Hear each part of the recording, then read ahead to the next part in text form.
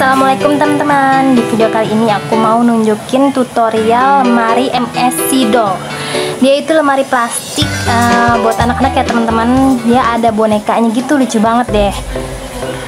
Nah ini tuh lemari MSC Doll dari Naiba ya teman-teman. Nah motif Doraemonnya ini lucu banget ya kan teman-teman. Gambarnya itu nggak mudah terkelupas. Dan anti gores teman-teman. Dan lemari pakaian ini tuh muat banyak pakaian ya. Dan ada kunci lemarinya supaya aman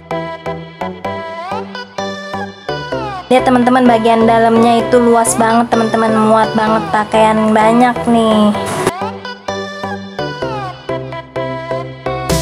Nah ini bagian yang lucunya nih teman-teman. Bonekanya ini bisa kita lepas Buat mainan anak-anak teman-teman. Nah kalau nggak mau dibuka atau dilepas Kita bisa taruh lagi buat pajangan aja Nah yang ini motif melodi teman-teman. Lucu ya. Temennya Hello Kitty. Nah ini motif hatching ya teman-teman. Ini detailnya sama sama yang lainnya Tapi bedanya dia ada lampunya teman-teman.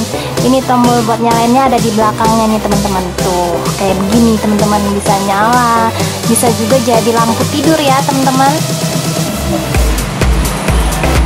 untuk tombol on off nya ada di belakang bonekanya nih teman-teman. Seperti ini. Nah lemari ini tuh motifnya banyak banget teman-teman. Semuanya karakter kartun yang disukai sama anak-anak. Lucu-lucu banget kan teman-teman ya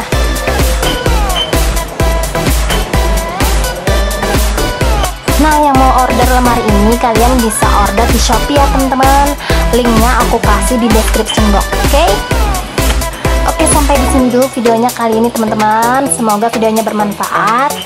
Dan sampai jumpa di video-video aku selanjutnya. Assalamualaikum warahmatullahi wabarakatuh. Bye-bye.